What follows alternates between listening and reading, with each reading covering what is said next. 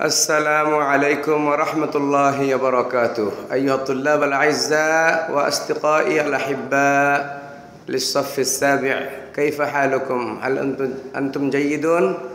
أرجو أنكم في صحة وعافية فأهلا وسهلا بكم جميعا في هذا الفيديو সপ্তম শ্রেণীর প্রিয় শিক্ষার্থী বন্ধুরা তোমাদেরকে আজকের কোরআনুল করিমের ক্লাসে স্বাগতম বন্ধুরা যে যেখানে আছো ভালো আছো আশা রাখি তো বন্ধুরা, আজকের আমাদের বিষয় হলো তর্জমাতু সুরাতুল বুরুজ। সুরা বুরুজের অনুবাদ বারো থেকে বাইশ নং আয়াত পর্যন্ত। প্রিয় শিক্ষার্থী বন্ধুরা, তো এখন আমরা শুরু করতে যাচ্ছি আমাদের অনুবাদ। তার আগে আমরা শব্দার্থগুলো জেনে নিই মাহানিল কালিমাত। মাহানিল কালিমাত অর্থাৎ শব্দার্থ, এই পড়ার ভিতরে বারো থেকে বাইশ আয়াত পর্যন্ত যে শব্দগুলো আছে, এই শব্দগুলোর অর্থ আমরা পড়ে নেই। প্রথম দেখো বাতসা ইন্না বাতসা রব্বিকালা সাদিদ এখানে বাদশা অর্থ হইল পাকড়াও। পাকড়াও। বা ধর পাকড় যে আমরা বলি, সেই পাকড়াও।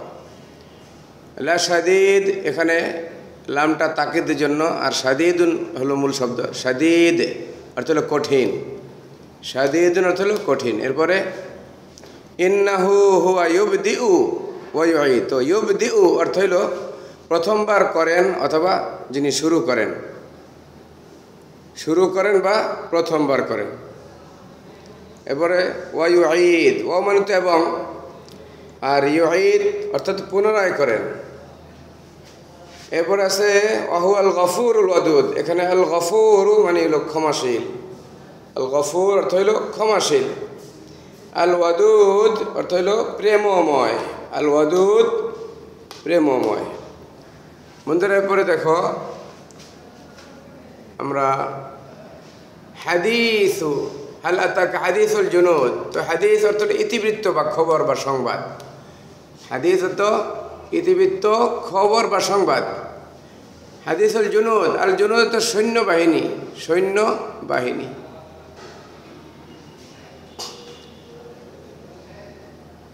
এরপর সে ফিরাউনা আসামদ দুটা জাতির নাম ফিরাউনা সামুদ। বারিল্লাদিন কাফর ফি তাকদিব। আল্লাহ মেউ ওয়ারা ইহিম মহিদ তো ওয়ারা ইহিম অরাউন মানে মূলত পেছনে। বাকি এখানে অর্থ ধরা হয়েছে চতুর্দিক, কারণ পরে আছে মহিত মানে যিনি বেষ্টন করে আসেন মানে আল্লাহ তাদের পেছন থেকে তাদেরকে বেষ্টন মানে চতুর্দিক থেকে বেষ্টন করে আসেন মেম ওরা ইহিম মহিত মহিত মানে বেষ্টনকারী আর ওরা ইহিম এখানে হচ্ছে চতুর্দিক বাল অর্থ হলো বরং বাল অর্থ হলো বরং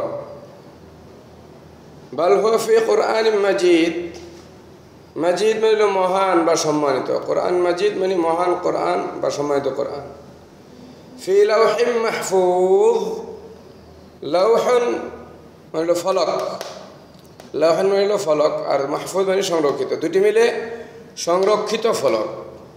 লাউহান মাহফুজ অর্থ হলো সংরক্ষিত ফলক। তো বন্ধুরা, এই ছিল আমাদের শব্দার্থগুলি। এবার আমরা অর্থ জেনে নিই। বন্ধুরা, এই হলো সুরাতুল বুরুজ। এটি মক্কায় অবতীর্ণ। এর আয়াত নম্বর হলো বাইশ এবং এই সুরাটি কোরআনের পঁচাশি নম্বর সুরা। এর একটি মাত্র রুকু আছে এর ভিতরে। তো বন্ধুরা, আমরা আজকে অনুবাদ করব এই আয়াত থেকে, অর্থাৎ বারো নম্বর আয়াত থেকে। সেটা হলো, ইন্না বাতসা রব্বিকালা শাদিদ এই যেখান থেকে।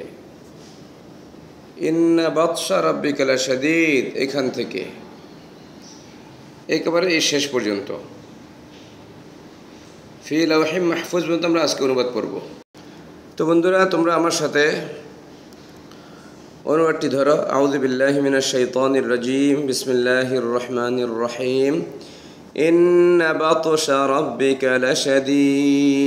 অর্থ হইল, নিশ্চয়ই, ইন্না নিশ্চয়ই আপনার রবের পাকড়াও বাদশা রব্বিকা আপনার রবের পাকড়াও লাশাদীদ খুবই কঠিন, লামানি খুব বা অনেক অনেক কঠিন। নিশ্চয়ই আপনার রবের পাকড়াও বড় বা অনেক কঠিন।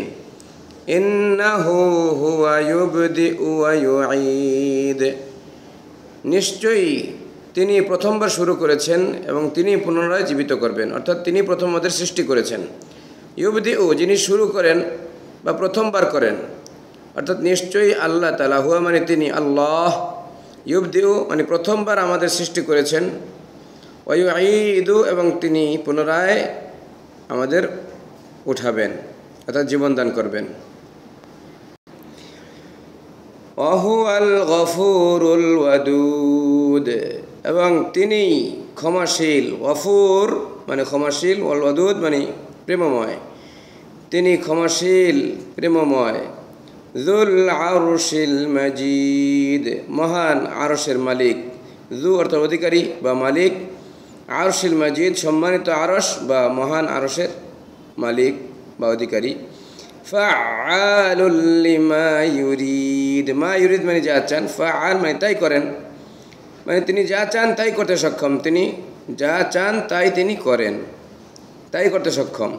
হাল আতাকা হাদিসুল জুনুদ। হাল মানে তো কি আমরা জানি? আতাকা এসেছে কি? আপনার কাছে, কা মানে আপনার?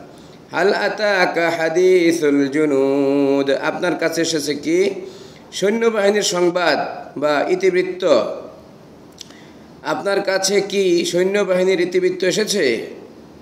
ফির আউন আওয়া সামুদ। ফেরাউন এবং সামুদ জাতির।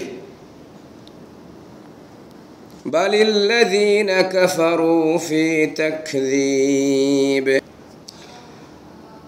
বরং বালিল্লাদিনা বরং যারা কাফের, তারা তো আল্লাহকে মিথ্যা সাব্যস্ত করেছে, মিথ্যা প্রতিপন্ন করেছে।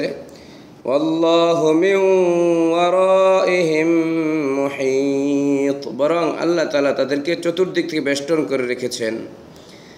বালিল, বাল হুয়া কোরআন মজিদ। বরং এটা তো কোরআন মজিদ, মহান কোরআন, সুমহান বা সময়ত কোরআন। ফিলাউ হেম মাহফুজ। এবং এটি সংরক্ষিত আছে সংরক্ষিত ফলকে, লাউহে মাহফুজে সংরক্ষিত আছে। বন্ধুরা, এই ছিল আজকের আমাদের অনুবাদ।